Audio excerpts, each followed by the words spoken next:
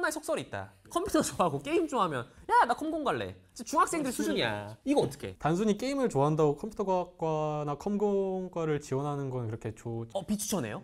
코딩이랑 게임을 하는 거랑은 그냥 전혀 별개고 아무리 악으로 버틴다고 해도 이게 아까 거에도 안 돼. 네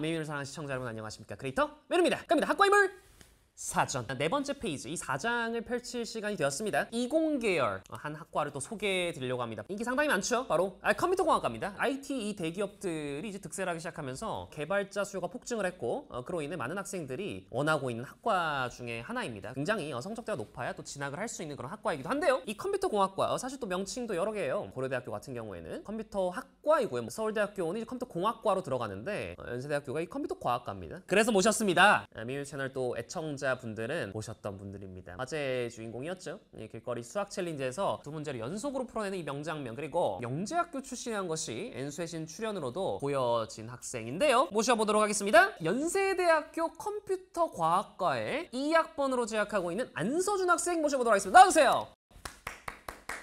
아, 오늘 또 짜증나게 또 멋있어요. 예, 아 또 오랜만입니다.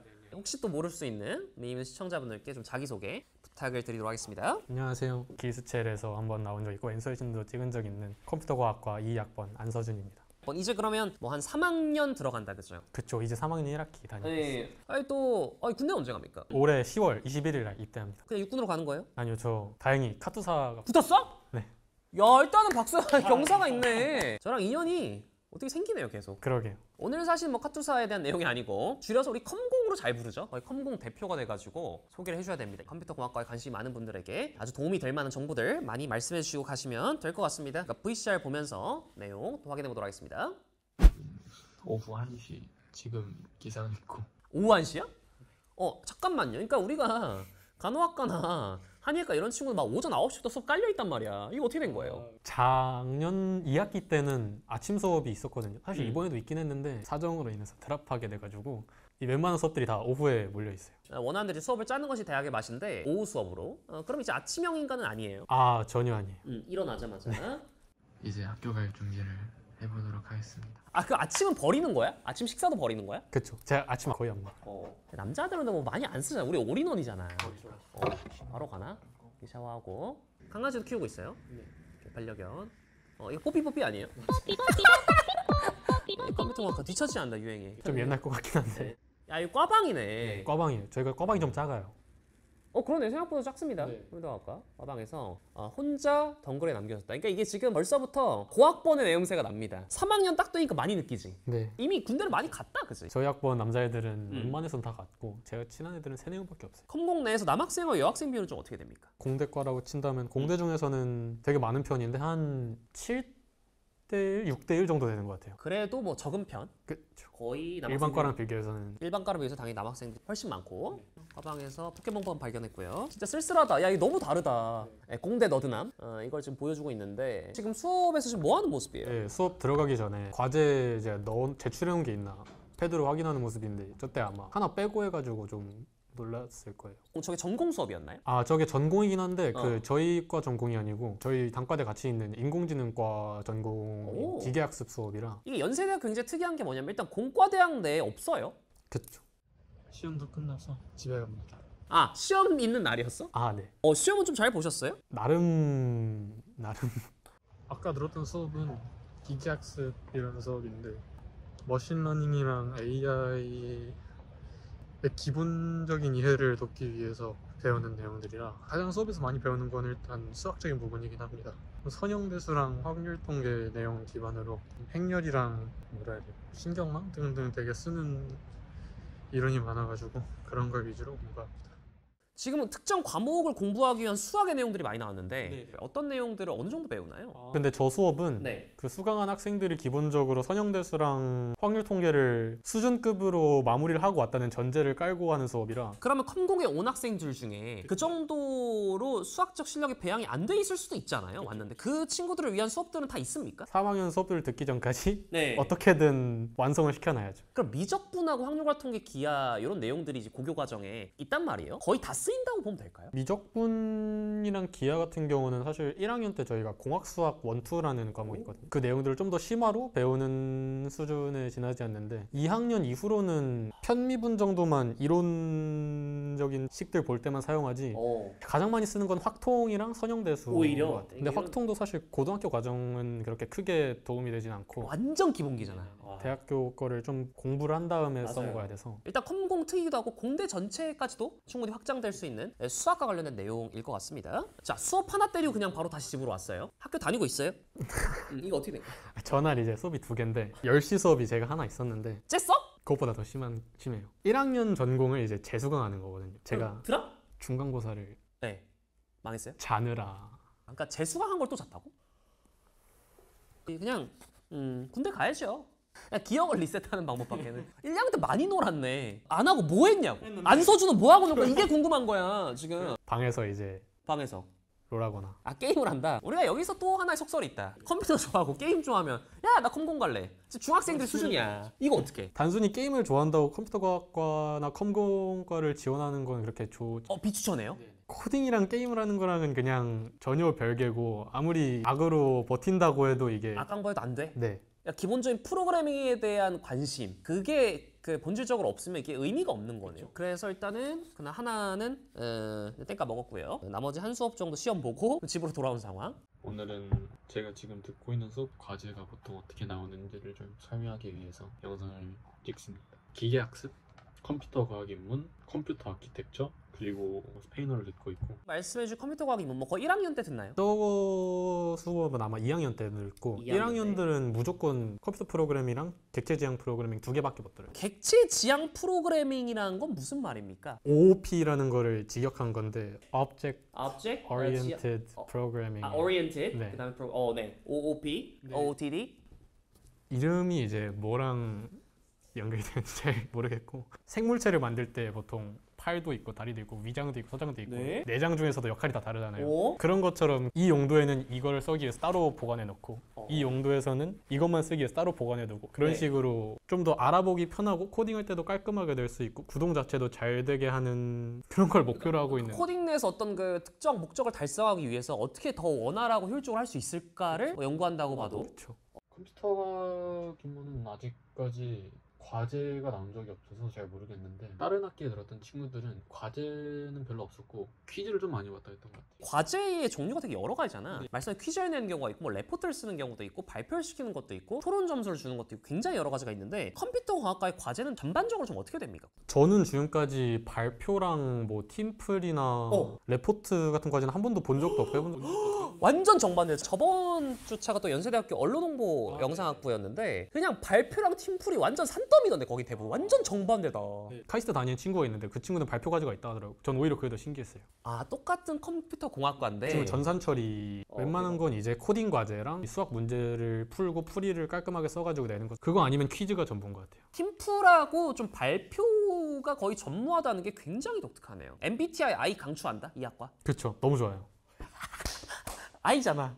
그렇죠. I. 여기 I야. 컴퓨터 아키텍처라는 수업은 아마 비전공생 분들은 딱히 그렇게 도움이 될 것 같은 내용은 아니라 제가 어떤 과제를 지나고 있는지 정도만 알려드리겠습니다. 컴퓨터 건축, 컴퓨터 아키텍처 뭔 말이야? 컴퓨터에 안에서 이제 무슨 일이 일어나나 그런 것들을 약간 어, 아, 배우는 좋아요. 아, 컴퓨터 안에서 무슨 일이 일어날까? 요거를 배우는구나. 어, 재밌다. 이제 컴퓨터한테 이거를 시키는 방법이 뭐냐 얘한테 무슨 말로 이거를 말해야 되냐가 컴퓨터 프로그래밍이라면 프로그래밍이고. 컴퓨터 아키텍처에서 배우는 거는 이 말을 들었을 때 이 컴퓨터가 대체 안에서 무슨 구동을 해가지고 아, 뭐를 어떤 반응을 뱉어내냐 하느냐? 그런 오. 거를 이제 주로 이해하기 위해서 배우는 거죠.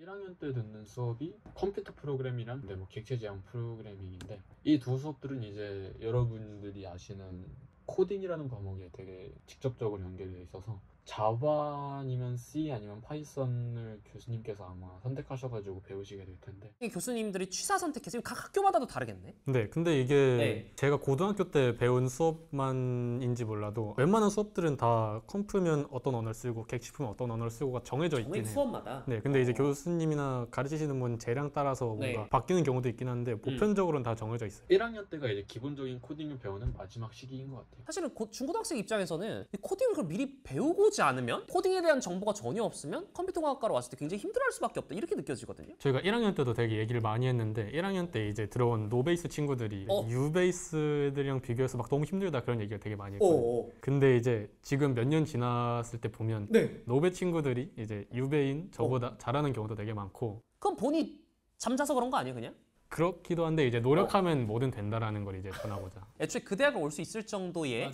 예, 지적 수준이면 충분히 극복 가능하다. 오, 그럼 이제 한마디 좀 더 거들면 이게 우리가 문과 친구들 자체가 전공만으로 취업이 어렵다 보니까 학원에서 이제 급급하게 이제 배웠다 하더라도 이게 또 실질적으로는 뭐 크게 영향을 미치지 못한다. 뭐 이런 얘기들도 있고 여기 대해서 좀 어떻게 생각해? 이게 좀 가능하다고 보십니까? 그 분야에 발을 담고 있는 그렇죠. 전문가분들 이제 어. 그분들이 하는 말에 따르면 일반적인 비전공생 분들이 몇 달 이제 해가지고 그렇지, 학원에 이제 배우는 학원에- 수준으로는 어, 어. 깊이 있는 내용 배우기에도 어렵고 뭔가 대체가 불가능한 인력이 되기에는 쉽지 않고 거의 불가능하다라는 생각이 가지고 있어요. 현업에서의 이제 경쟁력이 네, 에, 그렇게 단기로 배워서는 이루어질 수 없는 그래도 이제 공부를 아예 안 하는 거를 장려한다기보다 공부하는 건 당연히 좋고 공부를 너무 얕게만 안 하면 좋을 것 같아요. 너무 찍먹하는 느낌으로 들어온 건 좀 위험하다. 코딩이 뭐예요? 그래서 코딩이 어, 쉽게 좀 얘기해봐요. 컴퓨터 기계한테 뭐를 시키고 싶은데 말하는 방법 자체가 정말 다양해요. 왜냐하면 사람끼리 말할 때도 난 A를 원해면 돌려 말할 수도 있고 아니면 그렇죠. 나 A를 원해. 오. 나 A를 원하는데 너 생각은 어때? 이런 식으로 되게 다양한 방법이 있잖아요. 그런 것처럼 이제 컴퓨터에서도 똑같은 기능을 원하더라도 이제 그걸 얼마나 효율적으로 구현할 수 있는가와 음. 이걸 얼마나 비효율적으로 얼마나 오래 걸리고 얼마나 네. 멍청하게 구현을 했나 그런 걸로 나뉠 수 있는데 이제 코딩을 숙달하고 잘하게 된다는 것 자체가 이제 웬만한 상황들에서 최선의 네. 방향과 방법으로 이제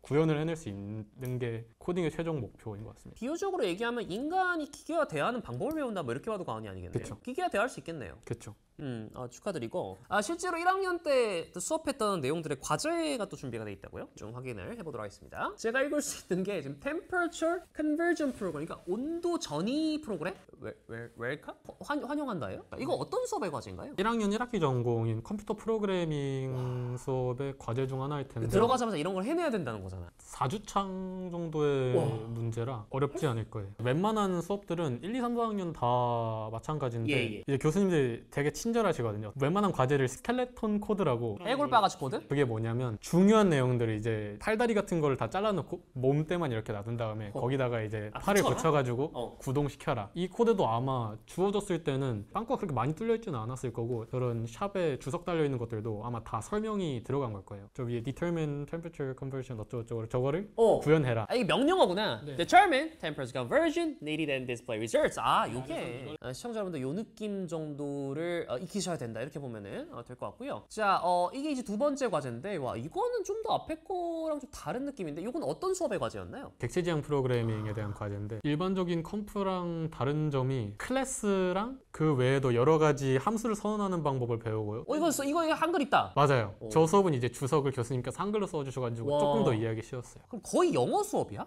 어, 수업 자체는 아마 영어로 했던 것 같아요. 와, 이거 영강이었다고? 영어는 또 무조건 알아야 되는 게 저희 과에서 공부를 하는 가장 효율적인 방법이 독학이거든요. 특정 상황을 구글에 검색하면 안 나올 것 같은데 저랑 똑같은 고민을 했던 사람이 지구 어딘가에선 무조건 있습니다. 와. 그래서 그거를 영어로 검색하면 이런 문제는 있었고 나는 이걸 이렇게 해결했다. 가 어. 다 나와 있어요. 이게 대학생 현실 꿀팁이네. 저희가 그 다음으로는 연세대학 컴퓨터 과학과의 어, 커리큘럼을 보면서 또 다른 수업들은 어떤 수업이 있었는지 좀 확인해 보도록 하겠습니다. 컴퓨터 프로그래밍 1학년 때 예, 거의 이제 아, 전공 필수로 들어가는 부분이 있고 그러네 2학년부터 확률 통계 바로 나오네. 컴퓨터 과학 입문, 인터넷 프로그래밍, 디지털 논리회로 실습. 논리회로라는 단어가 또 나오는데 이건 또 어떻게 봐야 될까요, 저희가? 사실 사람 머릿속에서는 이제 어떤 거에 대한 논리를 정할 때 그냥 바로 바로 나오잖아요. 그렇죠. 근데 기계는 이제 사람처럼 자연스럽게 생각할 수 없으니까 여러 가지 이제 변수들이 주어지면 이걸로 도출에 대한 결과가 있을 거 아니에요. 네. 이제 그거를 구현해 놓은 길이라고 해야 되나요? 그런 것들을 배워나가는 네. 멀티미디어 미디어 개론이 그나마 괜찮을 것 같은데? 저는 근데 저 수업이 뭔지 하나도 몰라서 아 진짜?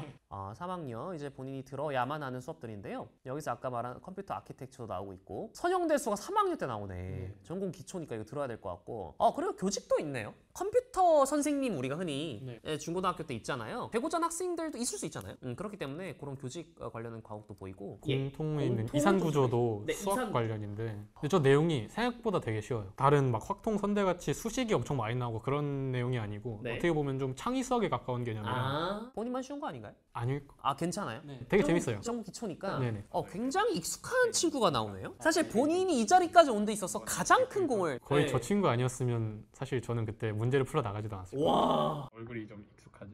저번에 길거리 수학 챌린지 할 때 같이 나와서 인터뷰했던 친구인데 같이 과에 대해서 좀 소개를 하려고 제가 과를 저보다 잘 아는 친구를 데려왔습니다. 안녕하세요. 저번에 서준이 친구로 같이 나왔던 연세대학교 컴퓨터과학과 2학번 재학 중인 이준성입니다. 반갑습니다. 아니 근데 죄송한데 그냥 둘만 다닌 거 아니죠 학교? 거의 그래요. 와 저희 학번에서 남자가 그렇게 많지 않아요. 제 친구들 중에. 아 친구 중에 여사친이 많다는 얘기가 아니라 말을 해본 사람이 한 두세 명. 말을 걸어왔겠지 상대방이 먼저. 딱히 그렇지도 않았던 게 제가 밖에 잘 안 나가니까. 저희 과 이름이 컴퓨터 공학과가 아니라 컴퓨터 과학과잖아요. 아 그렇죠. 사실 제가 이제 언뜻 듣기로는 이제 컴퓨터 과학과가 응용 수학에 뿌리를 좀 더, 그러니까 수학에 좀 더 뿌리를 두고 아, 있고 공학은 그 말 그대로 이제 하드웨어에 좀 더 뿌리를 뒀다 이런 이제 얘기가 있거든요. 제가 생각할 때도 아마 유래 자체는 컴퓨터 과학과는 좀 더 말씀하신 대로 응용 수학이랑 프로그래밍 자체에 좀 관점을 두는 것 같아요. 그리고 컴퓨터 공학과는 그거 그런 수업들도 물론 다루긴 하지만 하드웨어 쪽을 좀 더 깊이 다루는 거가 유래가 된다고 생각하긴 해요. 다른 학교에 다니고 있는 컴공이랑 전산과 친구들이 있는데 네. 그 친구들이랑 비교해봤을 때 배우는 내용이 그렇게 크게 다르지 않더라고요. 크게는 다르지 않다. 학년의 순서 차이는 조금 있을지 몰라도 내용 자체는 다 비슷한 것 같아서 혹시 준성 씨는 고등학교 때 코딩을 좀 하셨나요? 저 같은 경우는 이제 코딩을 안 했죠. 전혀 안 했죠. 코딩 과목을 듣긴 했는데 정보과학이라고 3학년 때 진로 선택 과목으로 하는 게 있어요. 저 친구는 일반고를 나왔네. 진로 아, 선택 네. 이런 거 보니까. 어. no base로 오는 친구들이 한 반은 됐던 것 같은데 어 그렇죠. 반 넘었었나? 연세대 여러분들 컴퓨터과학과 기준입니다. 반이에요. 컴퓨터에 대한 지식을 알려주고 과제로 그거를 내주고 코딩은 너네가 공부해라. 그렇죠. 약간 이런 느낌이죠. 그러니까 결국 독학 기반에 보면 본인이 뭔가 짜내서 심도 있게 고민해야 되는 과정은 있을 수밖에 없는 학과다. 이렇게 볼 수가 있겠어요. 프로젝트가 정확히 뭐죠? 자신이 원하는 결과물을 내기 위해서 개인적으로 진행하는 일련의 활동들, 그쵸. 포트폴리오를 위한 활동들 이런 거죠. 어느 정도 기간을 소모가 되고 이게 몇 번 정도 보통 평균적으로 하는 건지. 근데 포트폴리오 자체가 되게 천차만별인 게 가지수나 횟수라기보다 가장 중요한 게 내용이고 이걸 내가 어떻게 해결해. 나가는지 그런 것들이 더 중요하고 사실 제가 생각할 때 프로젝트의 가장 큰 이점은 다른 과 분들은 이제 비효과를 채우기 위해서는 공식적인 어떤 행사들에서 뭔가를 따내야 되는데 네. 그런 거랑 상관없이 포트폴리오에 약간 제약이 되게 적은 게 그냥 자기가 혼자서 이걸 만들어 보고 싶어가지고 집에서 그냥 뚝딱뚝딱 해서 어디 뭐 대회 상도 안 받아온 거를 그냥 어, 가져와서 어. 그게 만약 좋은 거라면 어, 인정받을 수 있고 대단히 자율적인 학과다. 네. 어, 본인만의 명확한 목표가 있고 생각하는 결과물이 있으면은 진짜 그걸 위해서 그냥 혼자 머리 싸매고 도전해보는 거예요. 네. 와 낭만의 학과다 이렇게 볼 수가 있겠어요. 그 취업할 때 가장 중요한 게 크게 네 가지 정도 있다고 생각하는데 좀 생소하실 만한 코딩 테스트와 포트폴리오 그리고 면접과 학점 여기서 이제 제일 생소하실 만한 코딩 테스트가 뭔가 코딩에 관한 뭔가 질문을 할 수도 있겠고 task를 보게 할 수도 있겠고 그런 이제 코딩 과제 수행 능력을 보는 것 같은데 이게 구두로도 할 수 있는 거죠. 이런- 웬만해서는 네. 구두만으로 하는 경우는 거의 없고요. 그 자체 코딩 능력을 시험한 다음에 구두로 보는 경우는 있습니다. 컴퓨터 같이 줘서 실제로 이제 해볼 수 있는 이런 부분들이 좀 있고 이게 비단 학교에서 길러지는 내용도 있긴 하지만 정말 혼자서 끊임없이 고민한 내용들이 더 클 수밖에 없다는 거 이게 진짜 에, 중요한 포인트일 것 같습니다. 도착해서 운동을 하고 갔다가 운동까지 해? 하지 마, 넌 그냥 운동. 아, 나 정말 씨. 누가 운동하는데 저 안, 저 뭐야. 아, 오케이. 자, 운동을 하루에 몇 시간 해요? 웬만해서 1시간에서 1시간 10분 정도의 주한 4회? 난 40분 하는데. 1시간 10분? 바쁘시니까. 저는 한량이고. 그 다음에 또 그 본인이 어, 수업 들으면서 필기했던 어, 자료가 있다고 하는데 확인해 보도록 하겠습니다. 다 영어야, 이거 봐. 펍. 이 뭐, 뭐 술집이에요? 펍이 왜 나오지 갑자기? 그러게요. 펍. 펍이 뭐지? 수업 이름이 뭡니까, 이게? 알고리즘 분석이라서 와. 주로 하는 내용이 이제 교수님께서 수학적인 알고리즘을 몇 개 알려주시고 이런 종류의 문제는 이런 식으로 풀어야 된다를 간략하게 알려주시면 이제 저희가 문제를 받고 응용해서 풀어내는 그런 수업이었어요. 네, 컴퓨터 과학과에 들어와서 어떤 그 전공 수업 내에서의 학습량 어떤 것 같으세요? 좀 버거운 느낌이다 아니면 뭐 열심히 하면 버거운데 어. 버겁지 않게 이제 조절을 하고 있기 때문에 아, 그러니까 놀 건 놓고 짤건 째기 때문에 엄청 바쁠 때는 한 3일 걸리는 과제가 동시에 한 두세 개씩 나올 때도 흔하거든요, 사실. 우리가 메디컬 계열의 학과들 같은 경우는 거의 이제 대부분 암기였거든요. 과제가 다 암기하는 건 아니네. 암기는 2, 3학년 돼야지 조금씩 나오고 네. 웬만한 건 다 이해를 해야 되는 겁니다. 그게 저는 되게 매력적인 것 같아요. 하루 일과를 마무리하고 잠에 들 시간입니다 무려 현재 시각은 4시. 새벽 4시라고? 4시까지 깨는 경우는 그렇게 많진 않고 사실 근데 2, 3시까지는 웬만해서는 다 깨있긴 해요. 솔직히 공대 특이기도 하다. 네네. 2, 3시까지는 이제 공부의 영역. 4시까지 깨 있는 건 이제 게임의 영역. 그러니까 머리를 쥐어 뜯은, 쥐어 뜯은 거 보니까 이거 이제 과제하다가 예, 안 풀려서 협곡으로 간 모습이에요. 생애 첫 예, 브이로그였습니다. 컴퓨터 과학과답게 게임하면서 하루 어, 마무리를 했습니다. 이 컴퓨터 과학과 관련한 이제 두 가지 질문 드리고 좀 마무리해 보려고 하는데요. 진로가 사실 궁금합니다. 어, 이 컴퓨터 과학과를 졸업하고 본인과 또 본인의 선배들은 어떤 좀 꿈을 향해 좀 달려가고 있을까요? 저희 교수님들이랑 선배분들이 자주 하시는 말씀이 어. 학부 수준에서는 이제 학교의 차이가 큰 의미가 없다라고 아. 말씀하시는데 그게 무슨 말이냐면 대학원을 가지 않으면 연세대에서 어? 컴퓨터과를 할 필요가 없다라고까지 말씀하시는 것 같아요. 교수님들 가스라이팅 아니고요. 그런 건 아니고 4학년 졸업했을 시점에서 다 고만고만하다. 대체 불가능한 인력이 돼야 된다. 뭔가 좀 더 가치가 있는 사람이 되기 위해서는 제일 쉬운 방법이 어떻게 보면 이제 대학원인 거고 그것보다 어려운 방법은 이제 예. 대학교 졸업 전에 혼자서 찾아가지고 공부를 해서 이제 자기 갈 길을 가는 거죠. 오케이 그런 쪽도 있겠고 그러면 이제 구체적으로 좀 어떤 진로가 있을까? 우리 흔히가 대중들이 아는 진로는 뭐 개발자 정도거든요. 근데 개발자 정도면 다 포함될 수 있는 게 개발자를 요구로 하는 회사들 자체도 되게 많고 또 개발자들 중에서도 담당하는 게 되게 많이 달라요. 그렇죠. 쉽게 말해서 backend, frontend 담당하는 사람들도 있고 네. 아니면 데이터를 다루는 사람들도 있고 데이터도 있고. 요즘 뜨는 AI 관해 가지고 AI. 공부한 사람들도 많고 개발자로 다 뭉뚱그릴 수 있긴 한데 그 안에서 세부적으로 다르다고 보면 되죠. 보통 하는 일은 대부분 다 비슷할 거예요. 그렇습니다. 이렇게 개발자로 포괄될 수 있지만 연구원과 같은 컴퓨터 분야에서 수많은 또 다양한 분과로 나눠지기 때문에 어, 그런 부분들로 또 진로가 확장이 된다 이렇게 생각하시면 좋을 것 같아요. 자 어,